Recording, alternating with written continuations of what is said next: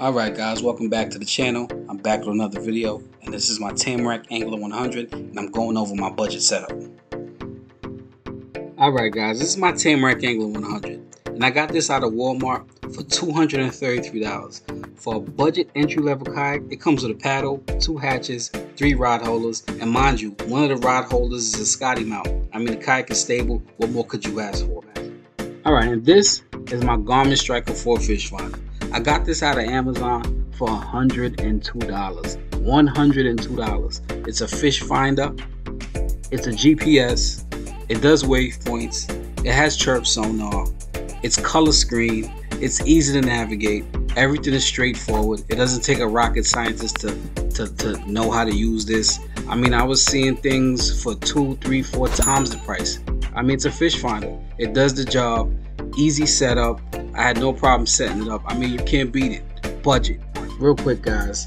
These are my scupper plugs, foam golf balls, 12 of them for $7.99. I mean, it's a deal. All right, this is my stadium seat. I got it out of Academy Sports for $34.99. I mean, this was inspired by other YouTubers.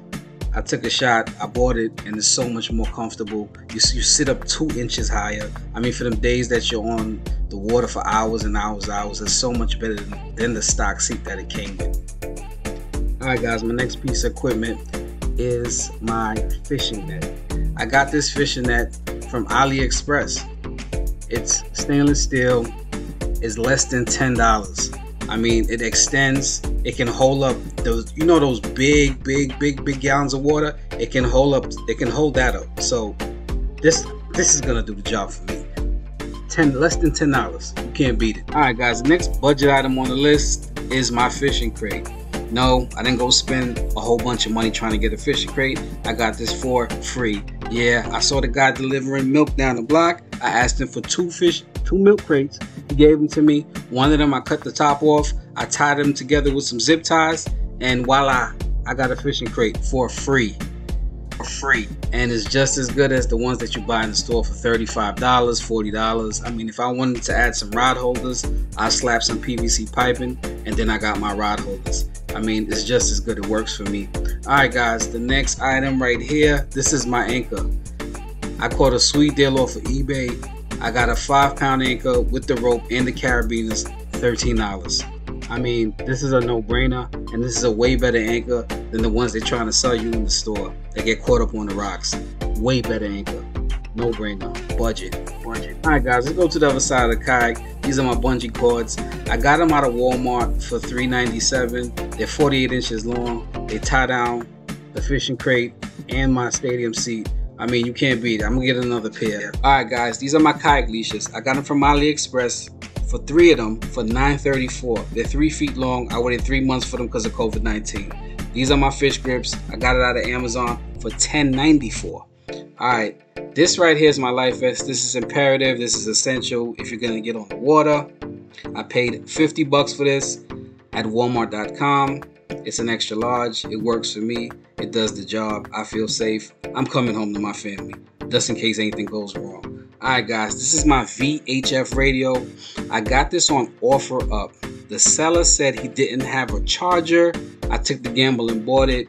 I realized all this thing needed was some, some batteries. I put a couple Duracells in there. It turned on. It works, and I'm good. I, I'm, my safety game is up to par. So anything go anything was supposed to go wrong, I'm good. Call a Coast Guard. I get back home to my family. All right, guys. Next item on the budget list is the waterproof case I got from Walmart. I got this case for 10 bucks at Walmart. This case secures my battery for my fish finder so it doesn't get wet. Um, the battery I got from Cabela's. The battery with the charger cost 30 bucks. Then I bought another separate battery for another $20 um, for my nav light. So altogether, with the two batteries and the charger, it was 50 bucks for the whole battery setup.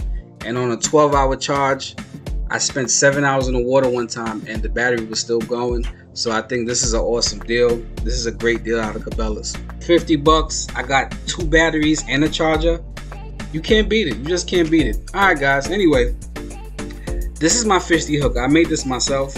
I bought the, the, the parts or the, the items at the Home Depot. If you guys are interested in how I made this, leave some comments in the comment section below and I'll make a video for you guys. Alright guys, this is my dry bag. Here's the backstory behind this. So I ordered a Kawatha dry bag from eBay. When I got the item, they sent me the Waves dry bag with no insulation. So I contacted the company. They told me, you know what? Keep the Waves dry bag. They refunded me my money. So basically, I got this for free. I got this for free. Free. Can't beat that. You just can't beat it. Alright guys, this is my nav light. I got this idea from another YouTuber. His channel's called Fishin N Stuff. I'll leave a link in the description box below so you go check his channel out. I mean, this is an awesome idea. I made the nav light with the switch, PVC piping, some black spray paint, a brake light, and some LED strip light with some speaker wire. This nav light makes me completely visible at dawn to all the bottles when I'm first launching. So it's an awesome, awesome, awesome nav light. This cost me probably about $5 for the brake light, another $10 for the LED strip. So we had 15 now. I spent another maybe about $8 on the speaker wire. So now we had 23. So let's say I spent another $7 on PVC piping. Now we had 30 plus the battery. So all together, the battery cost 20. So all together, I spent $50 for a nav light. And nav lights right now going upwards of 100 bucks. I mean, wow. I mean, budget, budget. All right, guys, let's go over everything. All right, the kite cost me 233. The fish finder was $102. The golf balls, I use the scupper plugs, $7.99. The stadium seat, $34.99. My fishing net was $9.60. The anchor was 13 bucks. The bungee cords was $3.97. The leashes was $9.34. The fish grips was $10.94. The life vest was $50. The VHF radio was $40. The waterproof case was 10 bucks.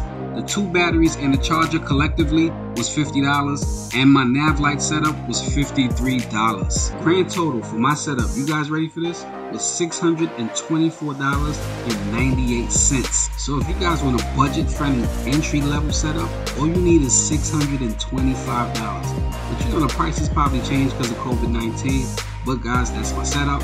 So if you guys enjoyed my content, hit the subscribe button, hit the like button, and hit the bell for notifications you guys waiting on? Hit the subscribe button. Alright guys, I'm out.